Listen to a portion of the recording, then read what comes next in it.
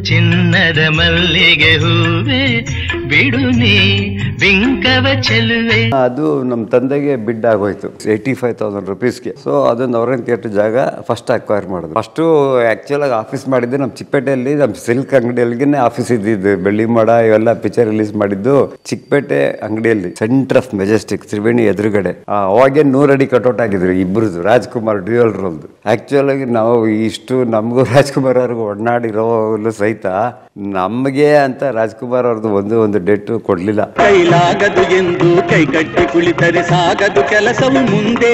Nineteen fifty eight twenty seven June ನಾನು ಹುಟ್ಟಿದ್ದು ಮೈಸೂರಲ್ಲಿ ನಮ್ಮ ಫಾದರ್ ಕೇಸನ್ ಗೌಡ ನಮ್ಮ ಮದರ್ ಬಂದು ಸರೋಜ ಅಂತ. ಅಲ್ಲಿಂದ ನನ್ನ ಜರ್ನಿ ಸ್ಟಾರ್ಟ್ ಆಯ್ತು. ನಮ್ಮ ಪ್ರೈಮರಿ ಸ್ಕೂಲ್ ಎಲ್ಲ ದೊಡ್ಡಬಳ್ಳಾಪುರದಲ್ಲಿ ಓದಿದ್ದು. ಅಲ್ಲಿಂದ ಸೆವೆಂತ್ ಸ್ಟ್ಯಾಂಡರ್ಡ್ಗೆ ಬ್ಯಾಂಗ್ಳೂರಿಗೆ ಬಂದ್ಬಿಟ್ಟೆ. ಸೆಂಟ್ ಜೋಸಫ್ ಹೈಸ್ಕೂಲಲ್ಲಿ ಓದಿದ್ದು. ಅದಾದ್ಮೇಲಿಂದ ಏಯ್ತ್ ಸ್ಟ್ಯಾಂಡರ್ಡಿಂದ Ramakrishna ವಿದ್ಯಾಶಾಲೆಯಲ್ಲಿ Mysuru. One of the prestigious school ಅಲ್ಲಿ ಓದಿದೆ ಅಪ್ ಟು ಟೆಂತ್ ಸ್ಟ್ಯಾಂಡರ್ಡ್ ಅದಾದಮೇಲೆ P U C P U C saint Joseph's commerce college ಅದಾದಮೇಲೆ ಪೂರ್ತಿ ಕ ಬಿ ಕಾಮ್ ಮಾಡಿದ್ದೆ ಅಲ್ಲೇನೆ. ನನ್ನ ಸಿಸ್ಟರ್ ಬಂದು ಶೋಭಾ ಅಂತ. ಆಕೆ ನಾನು ಬೆಳ್ಳಾಪುರದಲ್ಲೇ ಹುಟ್ಟಿದ್ದೆಲ್ಲ ಬೆಳೆದಿದ್ದೆಲ್ಲ ಆವಾಗಿನ ಕಾಲಕ್ಕೆ ನಮ್ಮ ತಾಯಿ ಇದು ನಮ್ಮನ್ನೆಲ್ಲ ದೊಡ್ಡ ಸ್ಕೂಲಲ್ಲಿ ಓದಿಸ್ಬೇಕು ಅಂತ ನನ್ನ ಸಿಸ್ಟರ್ನ ಸೋಫಿ ಹೈಸ್ಕೂಲ್ ಸೇರಿಸಿದ್ರು. ಆ ಸೋಫಿ ಹೈಸ್ಕೂಲ್ ಅಂದರೆ ಭಾಳ ಇದಿತ್ತು. ಈಗೆಲ್ಲ ಟೂ ಮೆನಿ ಸ್ಕೂಲ್ಸ್ ಆಗಿಬಿಟ್ಟಿದೆ. ಆವಾಗ ಭಾಳ very very limited school Sophia ಸ್ಕೂಲಲ್ಲಿ ಸೀಟ್ ಸಿಕ್ಕಿದ್ರೆ M B B S seat ಸಿಕ್ತಂಗೆ ಅಷ್ಟು ಸ್ಕೂಲಲ್ಲಿ ಸಿಕ್ಕಿದ್ರೆ? ಅದು ಅಲ್ಲಿ ಅದೇ ಥರನೇ ನನ್ನನ್ನು ಸೆಂಟ್ ಜೋಸಫ್ಸ್ ಹೈಸ್ಕೂಲಿಗೆ ಸೇರಿಸಿದ್ರು. ಅಲ್ಲಿಂದ ರಾಮಕೃಷ್ಣ ವಿದ್ಯಾಶ ಅಲ್ಲಿಂದ ಸೆಂಟ್ ಜೋಸಸ್ ಕಾಮರ್ಸ್ ಕಾಲೇಜ್ ಆ ಥರ ಎಲ್ಲ ಒಳ್ಳೆ ಹೈಲಿ ಗುಡ್ ಇನ್ಸ್ಟಿಟ್ಯೂಷನ್ಸಲ್ಲೇ ಓದಿಸಿ ಇದು ಮಾಡಿದ್ರು. ಅದಾದಮೇಲೆ ನಾನು ಮೇಯ್ನಾಗಿ ಟೆಕ್ಸ್ಟೈಲ್ ಬಿಸ್ನೆಸ್ನಲ್ಲಿ ಹೋಗ್ಬೇಕು ಅಂತಿದ್ದಿದ್ದು ಯಾಕಂದರೆ ನಾನು ಬೇಸಿಕ್ಕಾಗಿ ದೊಡ್ಡಬಳ್ಳಾಪುರದಲ್ಲಿ ಟೆಕ್ಸ್ಟೈಲ್ ಬಿಸ್ನೆಸ್ನಲ್ಲಿ ಇದ್ದಿದ್ದು ನಾನು ಫಸ್ಟು ಫಾದರು ಕೋನನಹಳ್ಳಿ ಅಂತ ನಮ್ಮ ಗ್ರ್ಯಾಂಡ್ ಫಾದರು ಕೋನೇನಹಳ್ಳಿ ನಮ್ಮ ಊರಿಂದ ದೊಡ್ಡಬಳ್ಳಾಪುರದಿಂದ ಒಂದು ಹದಿನೈದು ಇಪ್ಪತ್ತು ಕಿಲೋಮೀಟರ್ ದೂರದಲ್ಲಿ ಇದ್ದಿದ್ದು. ಅಲ್ಲಿ ಹುಟ್ಟಿ ಬೆಳೆದಿದ್ದು ನಮ್ಮ ತಂದೆಯವರೆಲ್ಲ ನಾನು.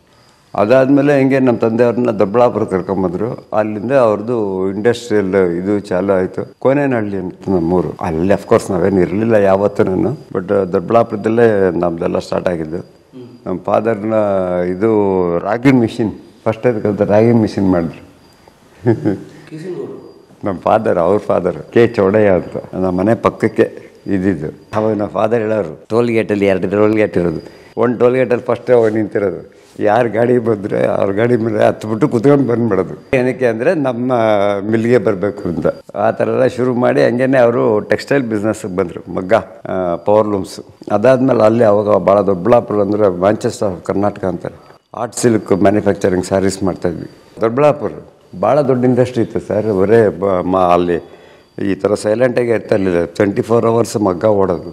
ಏನೋ ಪವರ್ ಪವರ್ ಲೂಮ್ಸು ಅದು ಬೇಕಾಗಿರೋ ಇಂಗ್ರೀಡಿಯೆಂಟ್ಸ್ ಎಲ್ಲ ಅಲ್ಲೇ ಮಾಡ್ಕೊಳ್ತಾ ಇದ್ರು. ಅದು ಭಾಳ ಭಾಳ ಫೇಮಸ್ ಆಗಿತ್ತು. ನಮ್ಮ ಅಂಬಾನಿ ಸಾಹೇಬರು ಬಂದ್ಬಿಟ್ಟು ಪಾಲಿಯೆಸ್ಟರ್ ತಂದ್ಬಿಟ್ಟು ಇಂಡಿಯಾ ದೇಶಕ್ಕೆ. ಆ ಪಾಲಿಯೆಸ್ಟರ್ ಬಂದಮೇಲೆ art silk as lost its market ಅದಾದ್ಮೇಲಿಂದ ಅದು ಆರ್ಟ್ ಸಿಲ್ಕ್ ಮಾರ್ಕೆಟೇ ಡೌನ್ ಆಗೋಯ್ತು. ಅದ್ರ ಮೇಲೆ ಯಾರೂ ತೊಗೊಳ್ಳಿಲ್ಲ. ಅದು ಹಂಗೆ ಕ್ಲೋಸ್ ಆಗಿ ಡಿಮಿನಿಷ್ ಆಗೋಯ್ತು. ಅದು ಇದೇ ಹೊರಟೋಯ್ತು. ಏನೋ ಆರ್ಟ್ ಸಿಲ್ಕ್ ಅನ್ನೋ ಇದೇ ಹೊರಟೋಯ್ತು. ಹ್ಞೂ ಈಗೆಲ್ಲ ಬರೀ ಪಾಲಿಸ್ಟ್ ಸ್ಯಾರಿ ಎಷ್ಟು ಇನ್ನೂರು ರೂಪಾಯಿ ಕೊಟ್ಟರೆ ಫಸ್ಟ್ ಕ್ಲಾಸ್ ಸೀರೆ ಒಳ್ಳೆ ಪ್ರಿಂಟೆಡ್ ಸೀರೆ ಸಿಗ್ತದೆ. ಆ ಥರ ಆಗಿ ಅದು ಪಾಲಿಸ್ಟರ್ ಬಂದಮೇಲೆ ಅದು ಇಂಡಸ್ಟ್ರಿ ಕ್ಲೋಸ್ ಆಯಿತು. ಪ್ಲಾಸ್ಟಿಕ್ ಅದೊಂಥರ ಮೆಟೀರಿಯಲ್ ಪಾಲಿಯೆಸ್ಟರ್ ಅದು ಮೆಟೀರಿಯಲ್ ಸೀರೆಗೆಲ್ಲ ಮಾಡ್ತಾರಲ್ಲ ಈಗ ಅದನ್ನೇ ಪಾಲಿಯೆಸ್ಟರ್ ಸ್ಯಾರೀಸ್ ಹ್ಞೂ ಅದನ್ನೇ.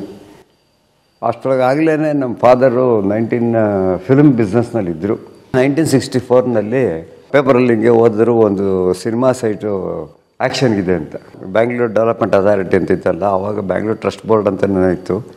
ಅವರು ಒಂದು ಪೇಪರಲ್ಲಿ ಅಡ್ವರ್ಟೈಸ್ಮೆಂಟ್ ಹಾಕಿದ್ರು, ಈ ಥರ ಒಂದು ಸಿನಿಮಾ, ಸಿ ಎ ಸೈಟ್ ಸೇಲ್ಗೆ ಆ್ಯಕ್ಷನ್ಗಿದೆ ಅಂತ.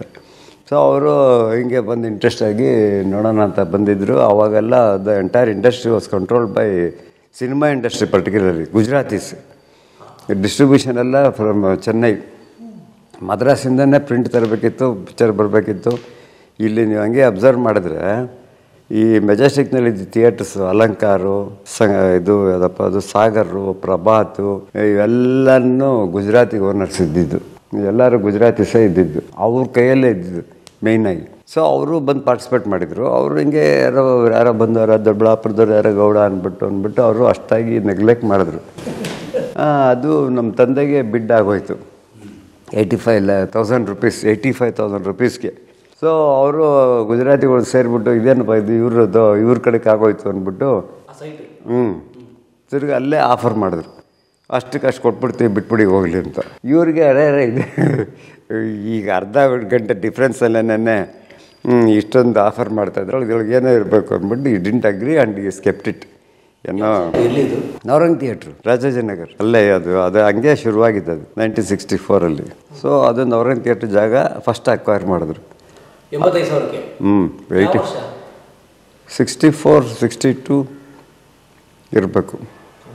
ಆ ವಯಸ್ಸಿನಲ್ಲಿ. ಅದಾದಮೇಲೆ ಅಷ್ಟರೊಳಗಾಗಲೇ ಈ was into films also Belli Moda ಅಂತ ಒಂದು ಪಿಕ್ಚರ್ ಬಂದಿತ್ತು ಗೊತ್ತಿರಬೇಕು ಪುಟ್ಟಣ ಕನ್ನಡದ ಫೇಮಸ್ ಪಿಕ್ಚರ್ ಅಲ್ಲಿಂದನೇ ನಮ್ಮ ಫಾದರ್ದು ಫಿಲ್ಮ್ ಜರ್ನಿ ಸ್ಟಾರ್ಟ್ ಆಗಿದ್ದು. ಅದು ಆ್ಯಕ್ಚುಲಾಗಿ ನಿಂತೋಗ್ಬಿಟ್ಟಿತ್ತು ಪಿಕ್ಚರ್ ಅದ್ರ ಪ್ರೊಡ್ಯೂಸರ್ಗೂ ಪುಟ್ಟಣ ಕನ್ನಡಗಾರರಿಗೆ ಡಿಫ್ರೆನ್ಸ್ ಆಫ್ ಒಪಿನಿಯನ್ ಬಂದ್ಬಿಡ್ತು. ಕ್ಲೈಮ್ಯಾಕ್ಸ್ನಲ್ಲಿ ಇವರು ಕಲ್ಪನಾ ಅವರು ಹೋಗ್ಬಿಟ್ಟು ಇದು ಮಾಡ್ತಾರೆ. ಏನು ಆಕೆ ಒಂದು ಮರದ ಮೇಲೆ ಹೆಸ ಹಾಕಿರ್ತಾರೆ, ಅದೆಲ್ಲ ಹೊಡೆದಾಕ್ಬಿಡ್ತಾರೆ ಗಂಡ ಬೇಡ ಅಂತ. ಆ ಸ್ಯಾಡ್ ಎಂಡಿಂಗ್ ಇಡಬಾರ್ದು, ಏನು, ಆ ಥರ ಟ್ರಾಜಿಕ್ ಎಂಡಿಂಗ್ ಇಡಬಾರ್ದು ಅಂತ ಅವ್ರದ್ದು ಇದು. But Puttanna was insisting that it should be the same ಅಂತ. ಸೊ ಆವಾಗ ಸಾಮಾನ್ಯವಾಗಿ ನಮ್ಮ ಫಾದರು ನಮ್ಮ ಫಾದರ್ ಮೂರು ಜನ ಬ್ರದರ್ಸು ನಾಲ್ಕು ಜನ ಒಟ್ಟು. ಸಾಮಾನ್ಯವಾಗಿ ಸಂಡೇಸು ದೊಡ್ಡಬಳ್ಳಾಪುರ ಇತ್ತು. ಸಾಮಾನ್ಯವಾಗಿ ಎವ್ರಿ ಡೇ ನಮ್ಮ ತಂದೆಯವ್ರು ಬೆಂಗಳೂರಿಗೆ ಬಂದ್ಬಿಡೋರು. ಬೆಳಗ್ಗೆ ಎದ್ದು ಸೀದಾ ಒಂದು ಅಲ್ಲಿ ಬ್ರೇಕ್ಫಾಸ್ಟ್ ಎಲ್ಲ ಮಾಡ್ಕೊಂಡು ಬಂದುಬಿಟ್ರೆ ತಿರುಗಿ ರಾತ್ರಿಗೆ ವಾಪಸ್ ಹೋಗ್ತಾ ಅವರು.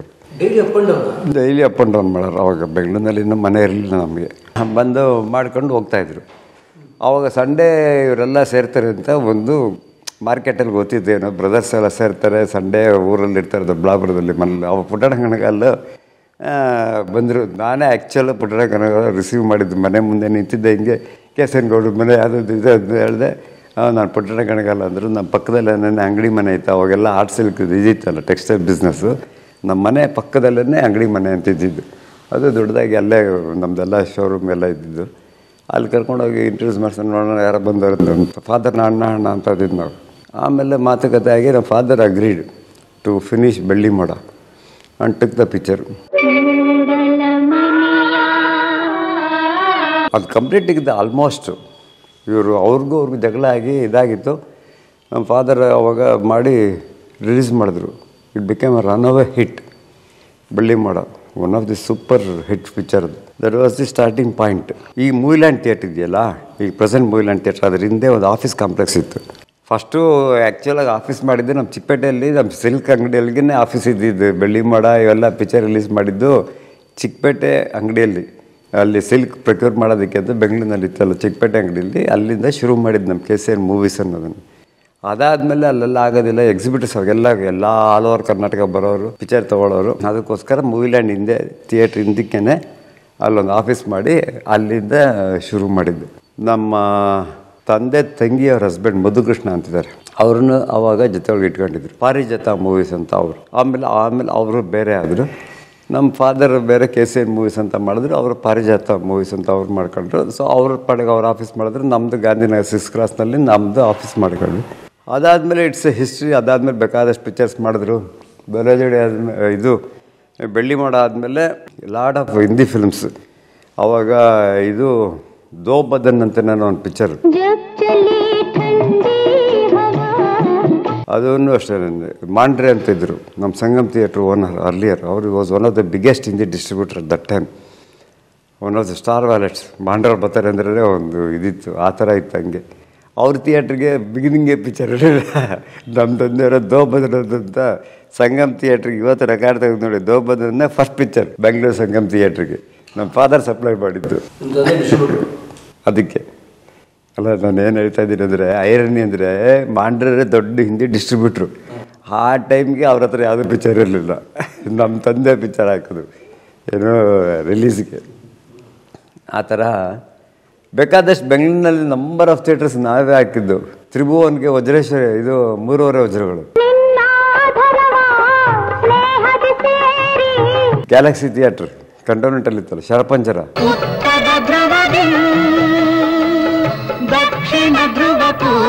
ಆ ಥರ ಬೇಕಾದಷ್ಟು ಫಿಲ್ಮ್ಸ್ ಹೊಸ ಹೊಸ ಥಿಯೇಟರ್ ಓಪನಿಂಗ್ಗೆ ನಮ್ಮದೇ ಪಿಕ್ಚರ್ಗಳು ಹಾಕಿದ್ವಿ. ಸೊ ಅದೊಂಥರ ಜರ್ನಿ ಬಿಡಿ. ಅಂದ್ರೆ ನಿಮ್ಮ ತಂದೆ ಡಿಸ್ಟ್ರಿಬ್ಯೂಟರ್ ಕೂಡ ತುಂಬಾ ಪ್ರಖ್ಯಾತ. ಹ್ಞೂ ಕೆ ಸಿ ಮೂವೀಸ್ ಅಂತ ಫಸ್ಟ್ ಡಿಸ್ಟ್ರಿಬ್ಯೂಷನ್ನೇ ಮಾಡಿದ್ದು. ಬೇಕಾದಷ್ಟು ವಿಚಾರ ಮಾಡಿಬಿಟ್ರು. ಸರ್ವಮಂಗಳ ಅವರು ಸ್ವಲ್ಪ ರೆಕಗ್ನೈಸ್ ಆಗಿರೋದ್ರಿಂದ ಬೆಳ್ಳಿ ಮೋಡ ಆದಮೇಲೆ ಸರ್ವಮಂಗಳ. ನನ್ನವಳು ನನ್ನಿದೆಯ ಹೊನ್ನಾಡ ನಾಡುವಳು. ಅರಸು ಅಂತ ಒಬ್ಬರಿದ್ದರು ಮೈಸೂರಿನ ರೈಟ್ರು. ಅವರು ಸರ್ವಮಂಗಳ. ಮೈಸೂರು ಡಾಗ ಜಾನ್ ರಜಣ್ಣ ಅಂತ ಒಂದು ಅಷ್ಟು ಪಿಕ್ಚರ್ಸ್ ಮಾಡಿದ್ರು. ಅದಾದಮೇಲೆ ಪ್ರೊಡಕ್ಷನ್ ಮಾಡಬೇಕು ಅಂತ ಮಾಡಿದ್ರು. ಅದೇ ಫಸ್ಟ್ ಪಿಕ್ಚರು ಬಲೇಜೋಡಿ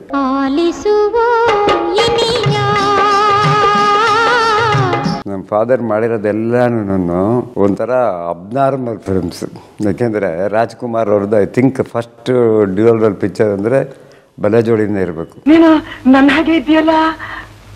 ನಿನ್ನ ಹೆಸರೇನು?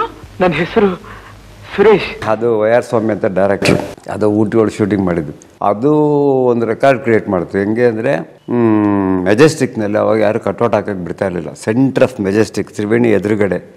ಇವತ್ತು ನೀವು ನೋಡ್ಬೋದು ಆದರೆ ಹಳೆದ್ರೊಳಗೆ ಗೂಗಲ್ ಮಾಡಿದ್ರೆ ಸಿಗ್ತದೆ. ಅವಾಗೇನು ಅವಾಗೇ ನೂರಡಿ ಕಟೌಟ್ ಆಗಿದ್ರು ಇಬ್ಬರದು ರಾಜ್ಕುಮಾರ್ ಡ್ಯೂಯಲ್ ರೋಲ್ದು ಯಾಕಂದರೆ ರಾಜ್ಕುಮಾರ್ ಡ್ಯೂಯಲ್ ರೋಲ್ ಮಾಡಿದ್ದು ಎರಡು ರಾಜ್ಕುಮಾರ್ದು ಕಟೌಟ್? ಏನೋ ಬಿ ಬಿ ಬಿ ಇಂದ, ಬಿ ಬಿ ಎಂ ಪಿಯಿಂದ ಪರ್ಮಿಷನ್ ತೊಗೊಂಡು ಮಾಡಿದರು. ಫಸ್ಟ್ ಕಟೌಟ್ ಅದೇ ಅಂತ ಅನಿಸುತ್ತೆ ನನ್ನ ಅಂದಾಜಿಗೆ. ಡಬಲ್ ಕಟೌಟು ಸೆಂಟ್ರ್ ಆಫ್ ಬೆಂಗಳೂರಲ್ಲಿ ಹಾಕಿದ್ದು. ಹೇಳೋದು ಹಿಸ್ಟ್ರಿ ಬಲ್ಲೆ ಜೋಡಿನೂ ಭಾಳ ಜ್ವರ ಆಗೋಯ್ತು ಅದಾದಮೇಲೆ ದೂರದ ಬೆಟ್ಟ ಅಂತ ಮಾಡಿದ್ರು. ಭಾರತೀಯವ್ರ ಜೊತೆ. ಪ್ರೀತಿನೇ ಆಸ್ತಿ ನಮ್ಮ ಬಾಳ್ವೆಗೆ. ಅದು ಪ್ರೊಡ್ಯೂಸರ್ ಅಂದ್ರೆ ಡೈರೆಕ್ಟ್ ಆಗಿ ಅವ್ರು ಯಾವತ್ತೂ ಎಲ್ಲೂ ನೀವು ಇಷ್ಟು ದಿನ ನೋಡಿರ್ಬೋದು. ಕೆ ಸಿ ಎನ್ ಗೌಡ ನಿರ್ಮಾಪಕ ಅಂತ ಎಲ್ಲೂ ಬರಲೇ ಇಲ್ಲ ಅವ್ರದ್ದು ಹೆಸರೇ ಹಾಕಿಲ್ಲ. ಅವ್ರು ಏನಿದ್ರು ರಾಜ್ಕಮಲ್ ಅಷ್ಟು ದೊಡ್ಡಬಳ್ಳಾಪುರ ಪ್ರೆಸೆನ್ಸ್ ಅಂತ ಹಾಕೋರು. ಅವರೇ ಇವಾಗ ಇದು ನಮ್ಮ ವಿಕ್ರಮ್ ಶ್ರೀನಿವಾಸ್ ಅಂತಿದ್ರು. ಅವ್ರದ್ದು ಅದು ಇದು ದೂರದ ಬೆಟ್ಟ ಅಂತ ಪಿಕ್ಚರ್ ಅವಾಗ ಹೆಂಗೆ ಅಂದರೆ ರಾಜ್ಕುಮಾರ್ ಅವರು ರಾಜ್ಕುಮಾರ್ ಅವ್ರ ಜೊತೆ ಒಡನಾಡಿನಲ್ಲಿ ಯಾರು ಇರ್ತಾರೆ, ಅವ್ರಿಗೆ ಡೇಟ್ ಕೊಡೋರು. ಸಪೋಸ್ ಯಾರು, ನಾನು ಹೇಳಿದ್ನಲ್ಲ ವಿಕ್ರಮ್ ಶ್ರೀನಿವಾಸ್ ಅಂತ, ಅವರಿಗೆ ಡೇಟ್ ಕೊಡ್ತಾಯಿದ್ರು ಅವರು ಮಾಡೋಕ್ಕಾಗದೇ ಇದ್ದರೆ ಅವರು ಫೈನಾನ್ಸ್ಗೆ ಬರೋರು ಅವಾಗೆಲ್ಲ ಡಿಸ್ಟ್ರಿಬ್ಯೂಷನ್ ಬಿಸ್ನೆಸ್ ಏನೋ ಡಿಸ್ಟ್ರಿಬ್ಯೂಟ್ ಅಂದರೆ ಡಿಸ್ಟ್ರಿಬ್ಯೂಟರ್ದ ದುಡ್ಡು ತೊಗೊಂಡು ಪಿಕ್ಚರ್ ಪ್ರೊಡ್ಯೂಸ್ ಮಾಡಿ ಮಾಡ್ತಾಯಿದ್ವಿ ಸಿಸ್ಟಮ್ ಸೊ ಅವಾಗ ಹೆಂಗೆ ಅಂದರೆ, ಈ ಈ ಒಂದು, ಇವ ನಿಮಗೆ ಕೊಟ್ಟಿದ್ರೆ, ನಿಮಗೆ ರಾಯಲ್ಟಿ ನಾವು ಎಪ್ಪತ್ತೈದು ಸಾವಿರಕ್ಕೂ ಎಪ್ಪತ್ತೈದು ಸಾವಿರ ರಾಯಲ್ಟಿ ಕೊಟ್ಬಿಟ್ಟು, ನಾವು ಪಿಕ್ಚರ್ ಮಾಡೋದು. ನಿಮ್ಮ ಡೇಟ್ನ ನಾವು ತೊಗೊಂಬಿಟ್ಟು ರಾಜ್ಕುಮಾರ್ ಅವ್ರ ಪಿಕ್ಚರ್ನ ಮಾಡೋದು. ಅದೊಂದು ಸಿಸ್ಟಮ್ ಇತ್ತು ಅವಾಗ. ಅವರು ಪಿಕ್ಚರ್ ಅವ್ರಾಗ ಅವ್ರು ಮಾಡೋವರೆಗೂ ಇದೇ ಥರನೇ ಮಾಡ್ಕೊಂಬಂದಿದ್ದು. ಯಾರೋ ಪಂಡ್ರಿಬಾಯ್ ಅವರು ಕೊಟ್ಟರು ಯಾರ್ಯಾರಿಗೂ ಕೊಟ್ಟರು ಬೇಕಾದಷ್ಟು ಜನಕ್ಕೆ ಡೇಟ್ಸು ಏನೋ ಅವ್ರು ಯಾರ್ಯಾರು ಕಷ್ಟದಲ್ಲಿರೋರಿಗೆಲ್ಲ ಕೊಟ್ಟು ಕೊಟ್ಟು ಆ ಥರ ಸಹಾಯ ಮಾಡ್ತಾಯಿದ್ರು ಆ ಸಿಸ್ಟಮ್ನಲ್ಲೇ ಬೇಕಾದಷ್ಟು ಪಿಕ್ಚರ್ ಮಾಡಿದ್ದು ನಮ್ಮ ತಂದೆ. ದೂರದ ಬೆಟ್ಟ. ಆ್ಯಕ್ಚುಲಾಗಿ ನಾವು ಇಷ್ಟು ನಮಗೂ ರಾಜ್ಕುಮಾರ್ ಅವ್ರಿಗೂ ಒಡನಾಡಿರೋಲ್ಲೂ ಸಹಿತ ನಮಗೆ ಅಂತ ರಾಜ್ಕುಮಾರ್ ಅವ್ರದ್ದು ಒಂದು ಒಂದು ಡೇಟು ಕೊಡಲಿಲ್ಲ. ಸ, ಆಗಲಿಲ್ಲ ಮಾಡೋಕ್ಕೆ. ಎಲ್ಲಾದ್ರೂ ಇದೇ ಥರದ್ದೇ ನನ್ನ ಸಹಾಯಕ್ಕೆ ಬಬ್ರುವಾನ, ಇದು ದೂರದ ಬೆಟ್ಟ ಬಂತು ವಿಕ್ರಮ್ ಶ್ರೀನಿವಾಸು, ಆಮೇಲೆ ಬಂಗಾರ ಪಂಜರ ಬಂದು ನಮ್ಮ ಇವ್ರದ್ದು ಯಾರಪ್ಪ ಅಬ್ಬಾಯಿ ನಾಯ್ಡುದು ಬಬ್ರು ಅನ್ನ ಬಂದು ಒಬ್ಬರು ಇವರಿದ್ರು ಹೆಸರನ್ನ ಇದ್ರು ಅವ್ರದ್ದು ಹುಲಿಯಾಲಿ ಮೇವನು ಅಷ್ಟೊಂದು. ಎಲ್ಲ ಪಿಕ್ಚರ್ಸ್ ದಾರಿ ತಪ್ಪಿದ ಮಗ ಪಿ ಕೆ ಟಿ ಶಿವರಾಮ್ದು. ಈ ಥರ ನಮ್ಮ ಫಾದರ್ ಮಾಡಿದ ಪಿಕ್ಚರ್ಸ್ ಎಲ್ಲ ಬೇರೆಯವರು ಕೊಟ್ಟಿದ್ದ ಡೇಟ್ಸಲ್ಲೇ ಮಾಡಿದ್ದು. ಇಷ್ಟೆಲ್ಲ ಮಾಡಿ ಹುಲಿಯಾಲಿ ಮೇವು ಸಹಿತ ನಮ್ಮದಲ್ಲ ಅದು ಡೇಟ್ ಬೇರೆಯವ್ರ ಡೇಟ್ ನಾವು ಬೈ ಮಾಡಿ ಮಾಡಿದ್ವಿ ಅದ್ರ ಮಧ್ಯೆ ಬೇಕಾದಷ್ಟು ಈ ನಮ್ಮ ಸಂಸಾರ, ಆ ಥರ ರಾಜ್ಕುಮಾರ್ ಯಾವುದೇ ಪಿಕ್ಚರ್ ಮಾಡಲಿ. ಕಸ್ತೂರಿ ನಿವಾಸ, Namma Samsara you name it ನಮ್ಮ ಫಾದರ್ ರಿಲೀಸ್ ಮಾಡಿದ್ದೆ ಅದನ್ನು. ಅವಾಗ ಒಂದು ಇದಾಗೋಗ್ಬಿಟ್ಟಿತ್ತು. ಮೊನ್ನೆ ಇದು ಏನು, ನಮ್ಮ ಕೆ ಸಿ ಎನ್ ಗೌಡ್ ಹತ್ರ ಹೋಗ್ಬಿಟ್ರೆ ಮೂರು ಲಕ್ಷ ರೂಪಾಯಿ ಕೊಟ್ಬಿಟ್ರೆ ಮೂರು ಲಕ್ಷ ರೂಪಾಯಿ ಏನೋ ಹನ್ನೆರಡು print three lakhs five years rights Rajkumar picture ಒಂದು ಸ್ಟ್ಯಾಂಡರ್ಡ್ ರೇಟ್ ಥರ ಆಗೋಗ್ಬಿಟ್ಟಿತ್ತು. ಒಂದು ಐದು, ಹತ್ತು ಸಾವಿರ ಅವಾಗೆಲ್ಲ ಡಿಫ್ರೆನ್ಸ್ ಅಷ್ಟೇ. ಆ ಥರ ಒಂದು ಇಪ್ಪತ್ತು ಪಿಕ್ಚರ್ ರಿಲೀಸ್ ಮಾಡಿದ್ದಾರೆ. ನಮ್ಮ ಸಂಸಾರ. ಯಾವುದಿದೆ ರಾಜ್ಕುಮಾರ್ ಪಿಕ್ಚರ್ಸ್ ಎಲ್ಲ ಆಲ್ಮೋಸ್ಟ್ ಸೀರೀಸು ಚಂದುಲಾಲ್ ಮಾಡಿದ್ದೆಲ್ಲ ನಮ್ಮ ತಂದೆನೇ ರಿಲೀಸ್ ಮಾಡಿದ್ದು ನಮ್ಮ ಸಂಸಾರ ಅವೆಲ್ಲ ಮಾಡಿದ್ರು.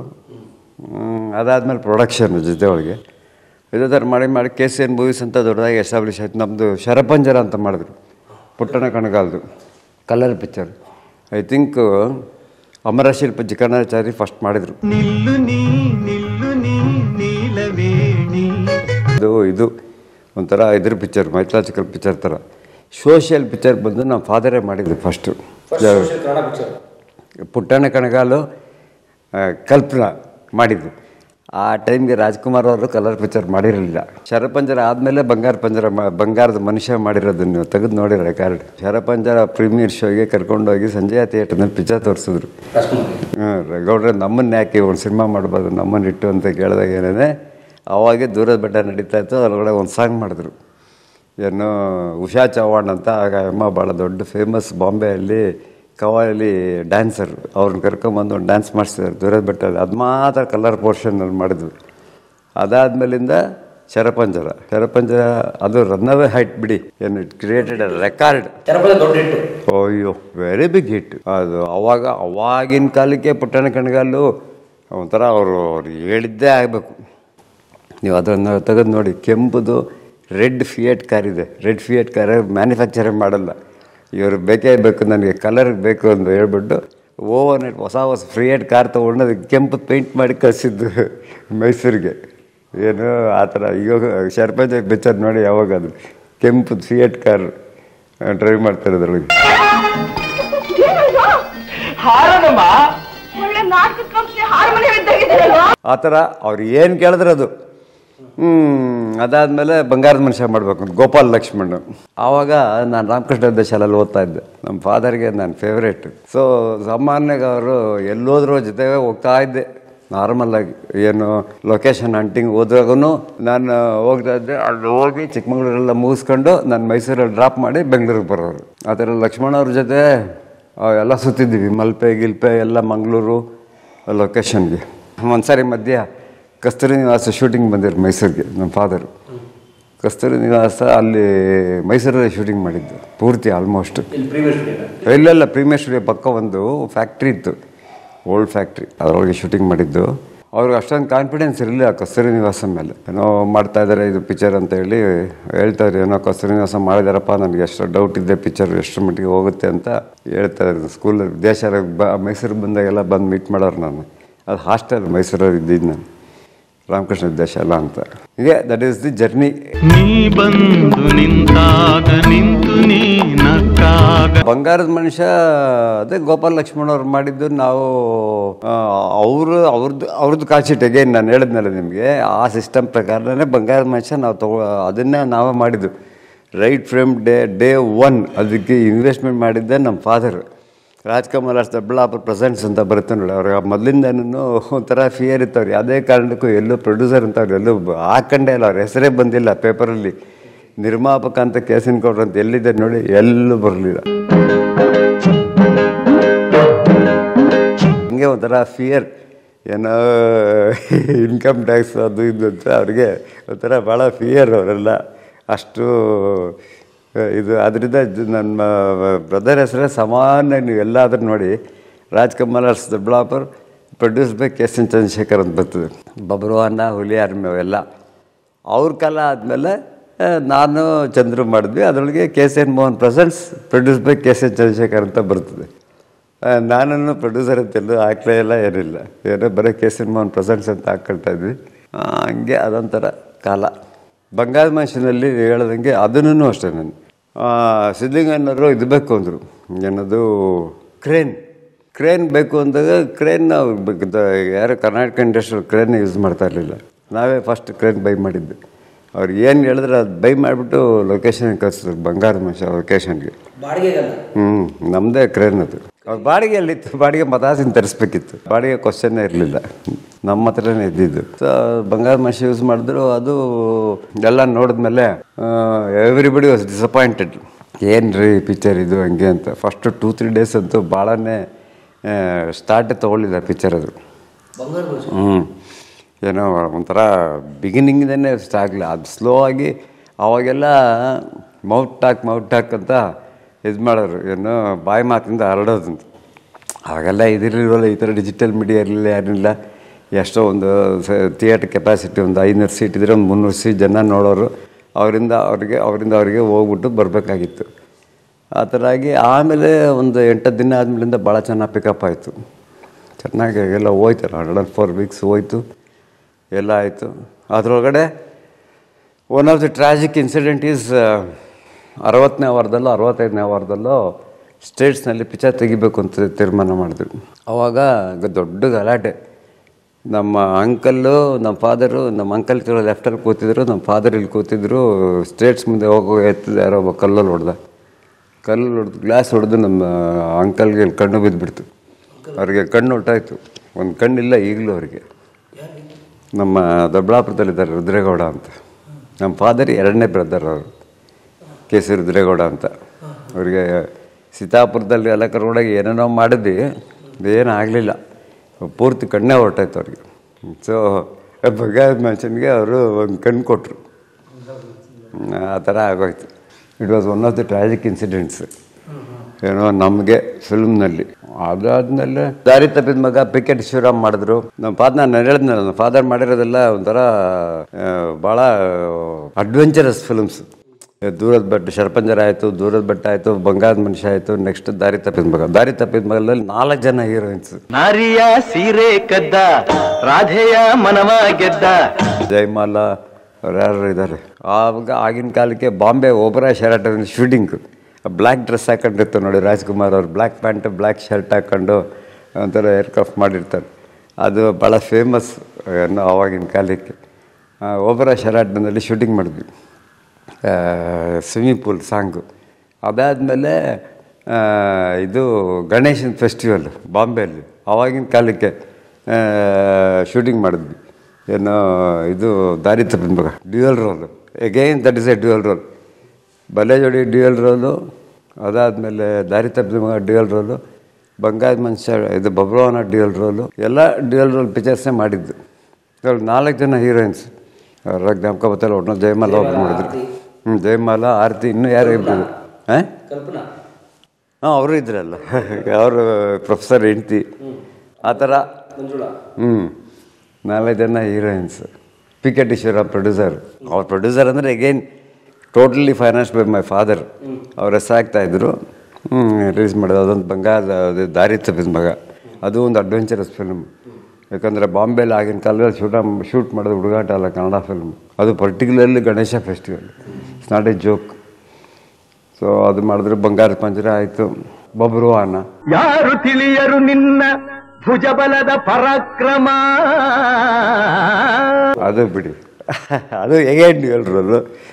ಮೈಥಲಾಜಿಕಲ್ಲು ಈ ಉಡ್ಸರ್ ಕೃಷ್ಣಮೂರ್ತಿ ಅವ್ರದ್ದು ವಾರ್ ಸೀನ್ಸು ಆಮೇಲೆ ಈಗಲೂ ಅನ್ಇಮ್ಯಾಜಿನಬಲ್ ಏನು ಅಂಡರ್ ವಾಟರ್ ಶಾಟ್ಸ್ ಎಲ್ಲ ಇದೆಯಲ್ಲ ಈಗಲೂ ಯೋಚನೆ ಮಾಡ್ಬೇಕಾದ್ರೆ ಹೆಂಗಪ್ಪ ಮಾಡಿದ್ರು ಎಲ್ಲ ಅಂತ ಆಶ್ಚರ್ಯ ಆಗುತ್ತೆ. ಯಾರು ಅದೇ ಎಲ್ಲ ಅಕ್ವೇರಿಯಮಿಕ್ಕೆ ಅವಾಗ ಆ ಥರ ಶ್ರೀಕಾಂತ್ ಅಂತ ಕ್ಯಾಮ್ರಾಮನ್ ಇದ್ದರು ಅವರು ಎಲ್ಲ ಭಾಳ ದೊಡ್ಡ ಎಕ್ಸ್ಪರ್ಟ್ಸ್ ಇದ್ದರು ಮಧು ಅಂತಿದ್ರು.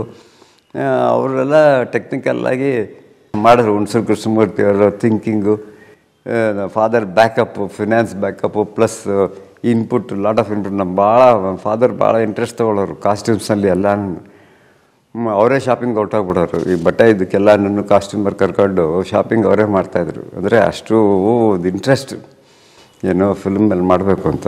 ಬಬ್ರವಾನು ಅಷ್ಟೇ ಭಾಳ, ಅದನ್ನು ಅಷ್ಟು ಭಾಳ ಚೆನ್ನಾಗೂ ಹೋಯ್ತು picture one of the milestone ಅಂತ ಹೇಳ್ಬೋದು.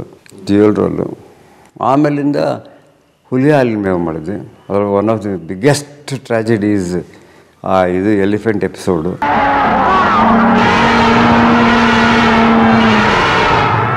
ಎಲಿಫೆಂಟ್ಸು ಸುಟ್ಟೋಯ್ತು, ಸತ್ತೋಗ್ಬಿಡ್ತು, ಏಳೆಂಟು ಆನೆಗಳು.